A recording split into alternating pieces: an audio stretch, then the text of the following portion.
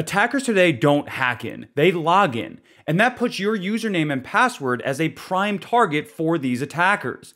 And for businesses, that puts you at an even greater risk because you have to realize how you can secure passwords for all of your employees. In fact, Verizon's 2023 data breach investigation report found that 49% of all external attacks originated from compromised credentials. So when Passbolt asked me to look at their password manager, I jumped on the opportunity because I knew they were built for businesses. In this video, I'm going to walk through Passbolt and talk about all their unique security features that make this a really good option for businesses that are really security focused. And stick around to the end because I'll give you a 20% off discount code for Passbolt that will allow you to get started right away. Many password managers today started off for individuals and then morphed into things that businesses can use. But Passbolt was really built from the ground up with businesses and teams in mind. And Passbolt isn't shy about talking about this. On their homepage, they show that they have over 15,000 organizations that rely on Passbolt, including Fortune 500 companies, government agencies, the defense industrial base, universities, and even startups. So many of the features that we'll talk about today are things that businesses are going to care about that may not apply to individuals themselves, even though it should. One of the coolest things that stood out to me was that it's not actually a password vault. And while that may seem bad, it's actually a really good thing. Traditional password managers have a vault type technology where you create this container, add in your passwords into that, and then anyone that has access to that container can see all of the passwords. But Passbolt is built differently. It relies on encrypting each and individual secret. This allows collaboration to be so much easier because instead of having to create new vaults for every time you want to share a password, you can just share the password and it's still secure. And this also applies to when you don't want them to have access to a specific password anymore. So instead of having to kick them out of the vault where they might still need access to other passwords, you can simply get rid of the one password you don't want them to have access to anymore. And while the architecture is really interesting, where I dug into was the security around Passbolt. And they have a 50 page white paper that talks all about this. And don't worry, I read through it for you, and I'm gonna give you the highlights. Let's start with one of the most important things. How do they encrypt passwords? And they're using asymmetric end-to-end encryption. In fact, it's based on something known as OpenPGP. This is a technology that has been around since the early 1990s and has been battle tested and secured over time. In fact, I remember when I was first getting into security, this is how I used to send encrypted emails back and forth. One of the things that I hated with it was that I had to go and communicate with the end recipient to get their public key so that I can then encrypt something. It creates a massive workload for every user to then go collect and manage everything. So you can imagine for a team, if you want to share sensitive things like passwords back and forth, this just doesn't really scale very well. But again, that's what Passbolt has solved. So let's say that Dave wants to send a secret to Diane. He wants to share a password. Because Dave and Diane are using Passbolt, it's going to facilitate this exchange. So Dave fires up Passbolt and says that he wants to encrypt this secret to send to Diane. And so what happens is that Passbolt is going to provide the public key to Dave, which he uses to encrypt the secret. And then that is sent through Passbolt using a secure channel and then Diane receives an email saying, Hey, Dave wants to send you a secret. Diane opens up Passbolt, is able to decrypt that secret with her private key, and then that password has been shared. At no point is Passbolt getting any of your secret keys, your passphrase, nothing. That all stays with you. If it weren't for Passbolt, Dave would have to do all of this on his own and would just get super frustrated and not want to have to deal with it. This level of granularity and control shines through in one of Passbolt's latest features, which is role-based access control, or RBAC for short. RBAC gives you granular control over what users can do, and typically you want to try to minimize this down to only what's required for their job duties. This is really a standard thing for any mature security program, so it's great to see that Passbolt is building this in natively natively. So now that we know how Passbolt is securing the passwords, what about access to the passwords? One of the weak areas for any password manager is how do you secure authentication to that password manager in the first place? And this was another area that I was really pleasantly surprised with Passbolt because natively they are providing a very secure way to authenticate. In fact, it's the same premise behind passwordless technology, which I am a huge fan of. So instead of using a username and password to authenticate to Passbolt, they're using GPG auth, which is based on the public private key pairs that we talked about before. The reason I love this is because it's secure and phishing resistant. There's no password to enter, so attackers can't try to source that password.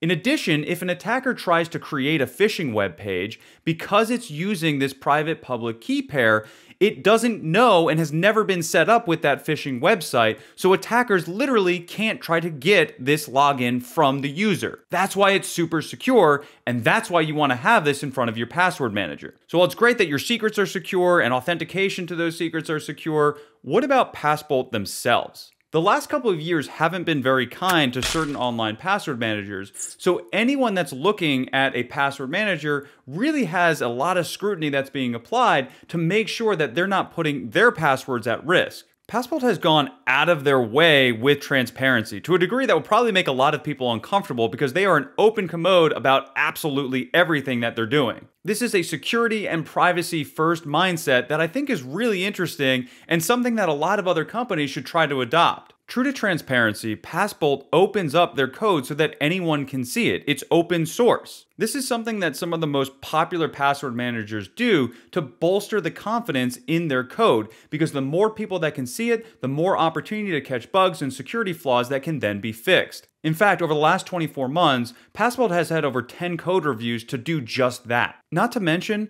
they've gone out of their way to be GDPR compliant, which is one of the most privacy focused regulations that are out there, and they're SOC 2 Type 2 certified. This is one of the most stringent security certifications somebody can get. So I've talked about the security a bunch, but how do you actually get started with Passbolt? Well, they make it super easy to get set up and running. You have the option of using the cloud based version that Passbolt manages. Or if you want to take control of everything yourself, it's super easy to get set up and running. For the local options, you can run it on just about any major operating system. You can see them on their help docs here. So, you know, Debian, Ubuntu, they have a Docker image. You can throw this up on the cloud. You have full control over this. They even have an option for a Raspberry Pi. I don't know why you would want to be able to do that, but you can do it. It just speaks to the flexibility and the control that you have over installing this and running it the way that you want to run it. If you do want to install this yourself, there's going to be three things that you're going to need. You're going to need a server that you can install Passbolt on. You're going to need an email server, and you're going to need a time server, NTP server. On that Passbolt server that you set up, you're going to need a database and you're going to need a web service to run everything. If you don't know what any of this means, this is not the path for you, and I would encourage you to just go to the cloud option to get yourself up and running quicker. Whichever path you decide to take, all you do is go over to passbolt.com and then you can see the different options that are available, whether it's an on prem install or a cloud sign up, which you can get 14 days for free. Pricing is going to be different between the self hosted option and the cloud based option.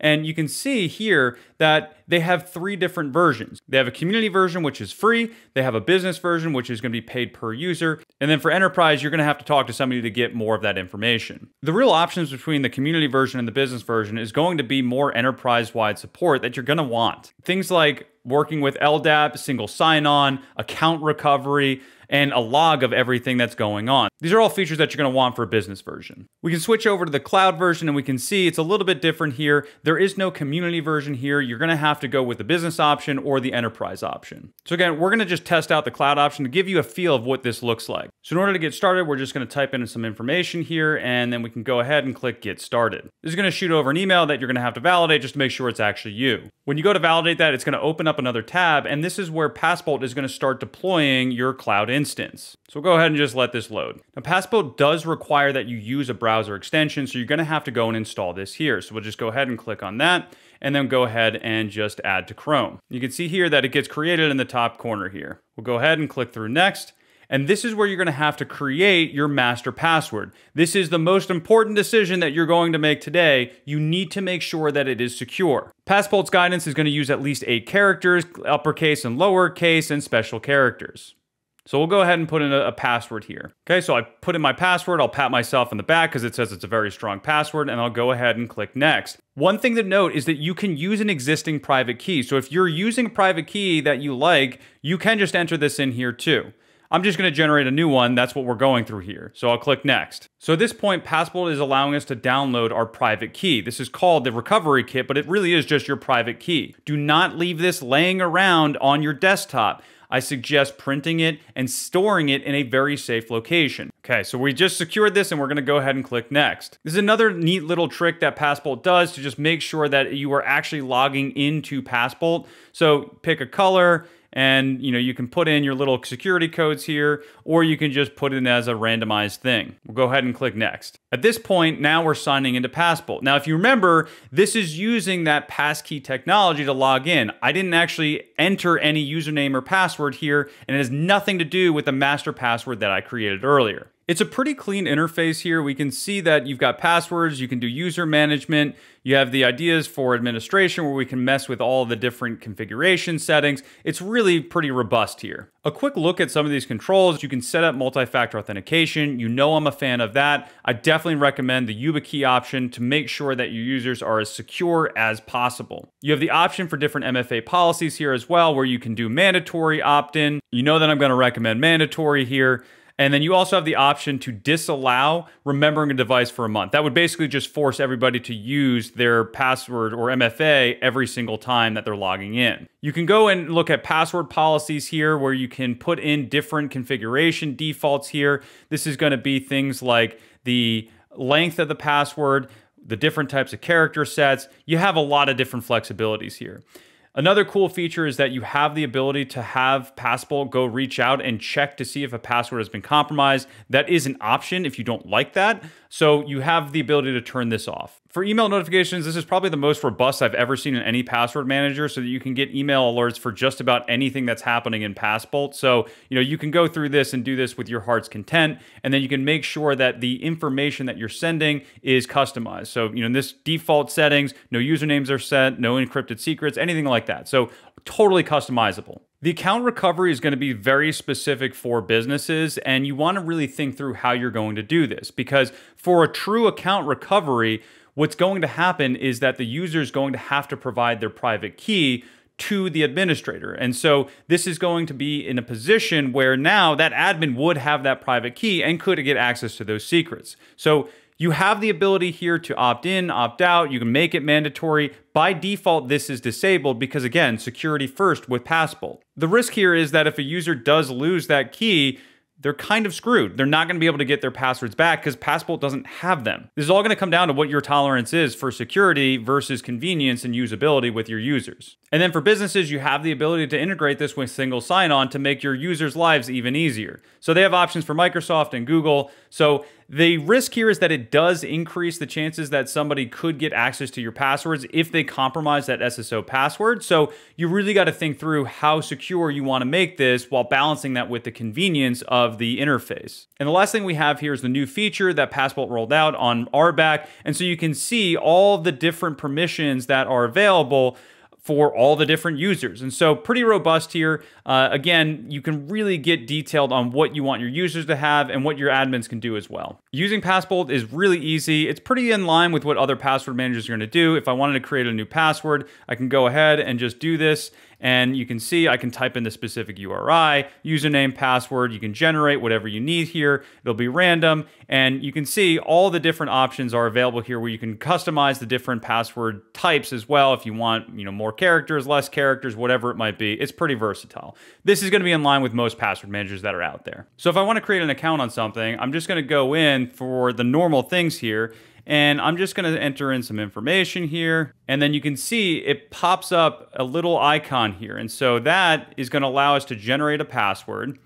And then when we go to sign up, we'll get a little prompt here on whether or not we want to save the password with Passbolt. So I'm going to click save here. And then I need to type in my master password.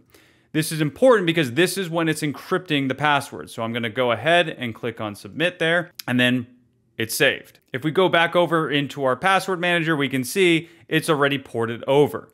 It's as simple as that. The next time I go to the site and I want to log in, I go here and you can see there's a Passbolt option here and it has a little one on it. And then I'm going to go ahead and just click through there. It's going to ask me for my passphrase again. I'll enter that. That's decrypting that password, allowing us to then pop it in. And then we go ahead and voila, we can log straight in. Now, if I wanted to share this account for some reason, don't recommend it, but if you wanted to do that, you simply go back to the web app and you can go and click on share. This is going to allow you to share it with other people that are in Passbolt. So if you had team members here, then you could add people to this secret very, very easily. Now, Passbolt has a bunch of customization for the profile as well. You can see we have our keys inspector here. This is the public key block. We have the uh, ability to change our passphrases. We can change the security token if we really want to. You have themes. We don't have MFA or account recovery set up for this organization yet, so that's not going to be there. But they also have a mobile app setup guide here that you can use this on your phone. And it allows you to transfer your account key to your mobile device so that you can use this seamlessly. So there you have it. You can see Passbolt is super easy to use, and with the options to use either Passbolt's cloud hosted version or using it yourself and owning every aspect of the setup and maintenance, you really have the choose your own adventure style that you want for Password Manager. And with a company that is so focused on transparency and security, it really can help you feel better that your information is secure.